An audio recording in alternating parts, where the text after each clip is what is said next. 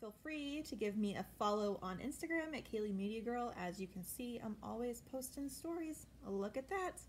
Okay, thank you for watching. Please like and subscribe. Hey everybody, welcome to my channel. I'm going to show you some basics on the Scoutly app. This is just basic reading the data that comes up at first and how to make a quick decision. So just basically, this is the app screen. This is the um, barcode thing, voice search, cost of goods, triggers, profit, FBA, used, new, um, where you would scan these. They just updated the app. This is a live search. Um, this is a bar graph. You can see bar graph information on the item. You can slide over. And if you slide over again, you can do your summary. So this is like the total amount of things that you've scanned. So since I reinstalled this app in December of last year, I've scanned a $1,009 profit. Mm -mm, I don't set triggers. And yeah, so that's the basics. So I'm going to scan my first item, just like right here. Hit this. Scan the barcode.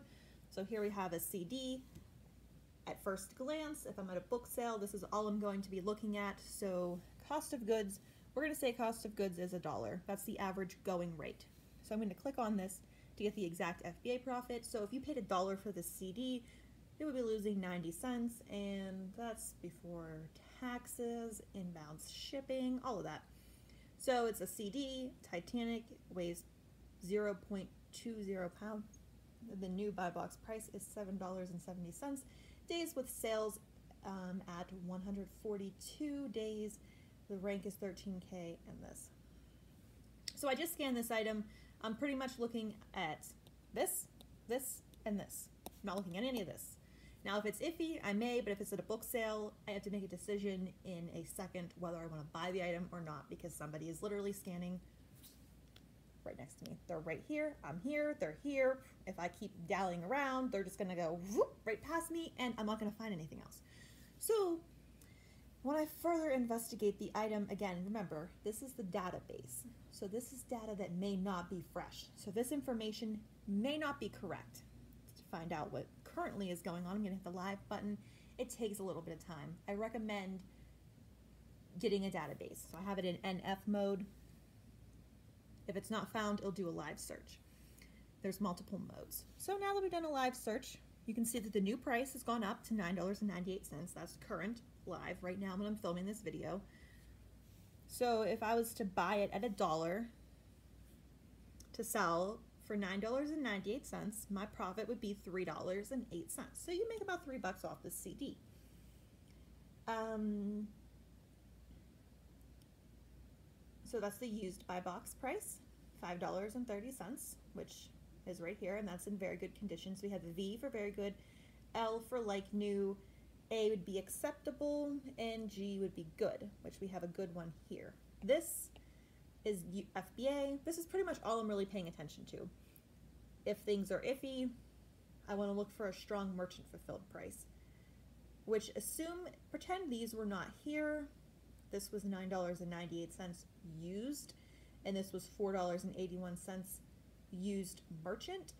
I would probably not buy the CD because it's liable to look like this. Hypothetical situation, which you'll see all the time. There's 189 used offers, so obviously you have a huge advantage if you're selling this item FBA. And with a 17K rank, that's really, really good. And the average rank is 11.8K, which is really good. This would be a really good buy if it was not selling for $5.30. And then new merchant, we have it at $8.98. All the way, if you scroll, eh, we got somebody who wants $26.98. So I don't think they're going to get that. Okay, so now we've moved on. Let's scan another item.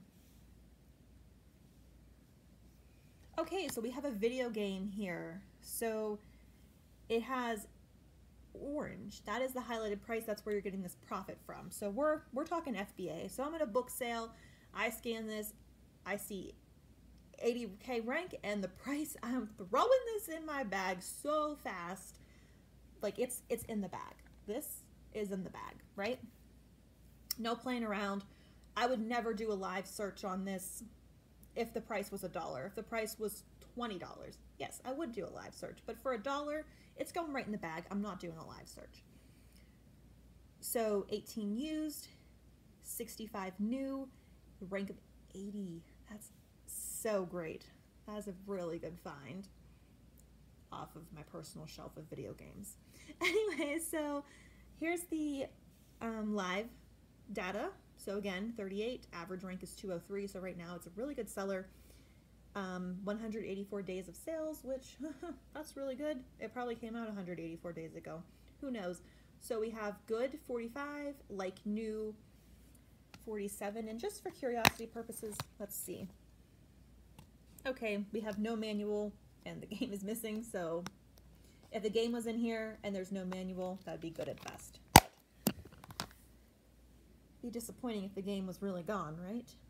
Okay, and then for if you found it new, it would be $49 and 22 FBA, 15 used merchant, and 56 new merchant fulfilled. So again, you can change your cost of goods. Say they're going to be greedy. They're like, oh, five bucks. You'd still make $30. Okay, guys, I hope you watched this video the whole way through. And if you liked it, please subscribe. I would really appreciate it. Thank you so much for watching. Also, feel free to give me a follow on Instagram at Kaylee Media Girl. As you can see, I'm always posting stories. Look at that. Okay, thank you for watching. Please like and subscribe.